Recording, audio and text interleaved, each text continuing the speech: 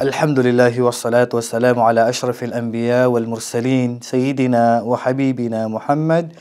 وعلى آله وصحبه أجمعين أما بعد السلام عليكم ورحمة الله وبركاته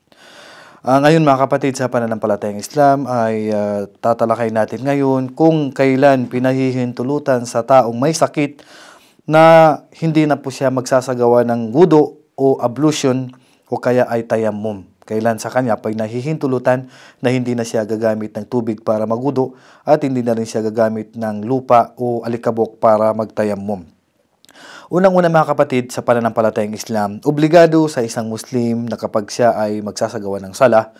o kaya ay kinaka- o siya ay uh, nasira ang kanyang wudu at siya ay maliligo, nagagamit siya ng tubig at ito po ang obligado. At kung sakali na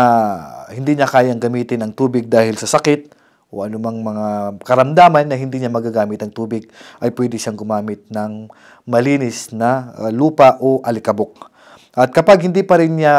kayang gamitin ang lupa, tubig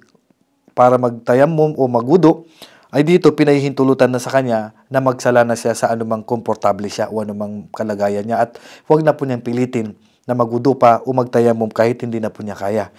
Ang sabi ng Allah subhanahu wa ta'ala, Fattakullaha mastata'tum at katakutan niyo ang Allah sa abot ng inyong makakaya at sinabi pa ng Allah,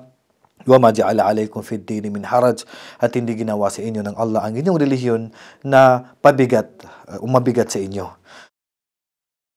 Ibig sabihin mga kapatid, pag hindi na po kayo makapagudo at hindi na po kayo makapagtayammum, ay pinahihintulutan na po sa inyo na wag niyo na po wag na po kayo magudo at wag na po kayo magtayammum, kundi kung ano po yung komportable kayo at pinakamagaan sa inyo dahil hindi nyo na po may kayang gawin yung wudo at ang tayamum ay magsala na po kayo kung ano po yung pinaka-komportable po sa inyo at kaya po ninyo. Ganun po ang ating relihiyong Islam. Wasallahu ala nabiyina Muhammad wa ala alihi wa sahbihi ajma'in. Assalamu alaikum wa rahmatullahi wa barakatuh.